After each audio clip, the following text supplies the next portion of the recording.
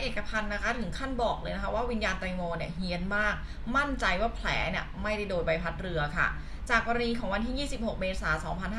2565 ที่ผ่านมานะคะตำรวจภูธรภาคหนึ่งเนี่ยได้มีการแถลงสรุปสำนวนการสอบสวนคดีแตงโมที่เสียชีวิตเนี่ยนะคะณห้องประชุมอมรวิวัฒน์อาคารอเนกประสงค์พหนึ่งค่ะ ยืนยันว่า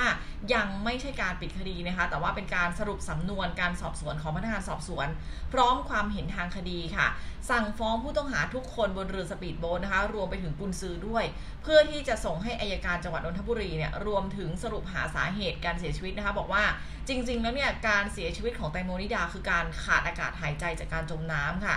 ต่อมานะคะต้องบอกว่าชาวเน็ตเองเนี่ยเขาก็เกิดข้อสงสัยต่างๆ นานามากมายค่ะ หลังจากที่เจ้าหน้าที่ตำรวจเนี่ยออกมาแถลงนะคะ ในการสรุปสำนวนคดีแตงโมนิดา ในเรื่องของบาดแผลขนาดใหญ่คุณผู้ชมบริเวณต้นขาด้านในของแตงโม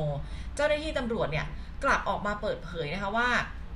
เหมือนมันเป็นแผลที่เกิดจากการถูกใบพัดเรือบาด นอกจากนี้ค่ะยังมีการเปิดรูปเปรียบเทียบกับเคสต่างประเทศด้วยนะคะ ระบุว่ามีผู้เคราะห์ร้ายถูกใบพัดเรือ ชนิดเดียวกันกับ ออของแตงโมที่โดนเนี่ยปั่นขาจนเกิดเป็นรอยแผล เมื่อทำการเย็บแผลเนี่ยก็พบว่าบาดแผลมีลักษณะคล้ายๆกับของแตงโมเลย จึงเชื่อว่าบาดแผลเนี่ยถูกใบพัดเรือปั่นเช่นเดียวกันค่ะ จนล่าสุดนะคะไทยเอกพันธ์เองเนี่ยเขาก็ออกมาเปิดใจครับกับทางรายการทุกโต๊ะข่าวบอกว่า หลังจากที่ตำรวจเนี่ยออกมามีการถแถลงรอบที่2นะคะบอกว่าเนี่ยบาดแผลเนี่ยมีการเอาภาพมาจากต่างประเทศอะไรที่เขาออกมาถแถลงนะคะ พร้อมกับย้ำชัดเลยมั่นใจว่าแผลแตงโมเนี่ย ไม่ใช่โดนใบพัดเรืออย่างแน่นอนค่ะ คุณไทยเขาก็บอกนะคะตำรวจจะพยายามทำอะไรก็ได้ ที่จะให้ประชาชนได้เห็นที่เขาพิสูจน์แล้วว่าโอเคแตงโม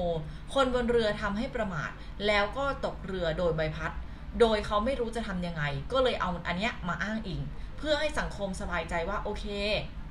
เนี่ยมันเป็นการสรุปแล้วนะ คดีของน้องแตงโมเป็นการที่น้องตกน้ำแล้วโดนใบพัดเรือ มันพลิกเลยนะ ไม่ว่าจะเป็นการทำงานของหน่วยงาน กรมตำรวจ ไม่ว่าจะเป็นหน่วยงานไหนนิติเวชสืบสวนสอบสวน ทางเขียนสำนวนนี่คือพลิกไปหมดเลย ไม่น่ามีความเชื่อถือจากสังคมที่เขาฟังเลยนะ คือผมอยากฝากเลยนะ ทิ้งท้ายเลยนะ เงินมันสามารถซื้อทั้งหมดได้แต่ยกเว้นกรรมที่กระทำไว้ เงินไม่สามารถซื้อได้ แต่จะบอกเลยว่าวิญญาณของแตงโมเฮียนจะทำอะไรต้องคิดให้ดีและรอบคอบ สิ่งไหนที่คุณทำมีการหมกเม็ด สิ่งไหนที่ซ่อนไว้ใต้พรม ระวังมันจะพุ่งออกมาอ่าอันนี้คุณไทยเขาก็ได้มีการทิ้งท้ายเอาไว้แบบนี้นะคุณผู้ชมคะและนี่คือข่าวไวไทยนิวแล้วคุณจะไม่พลาดทุกกระแสร้อนของสังคม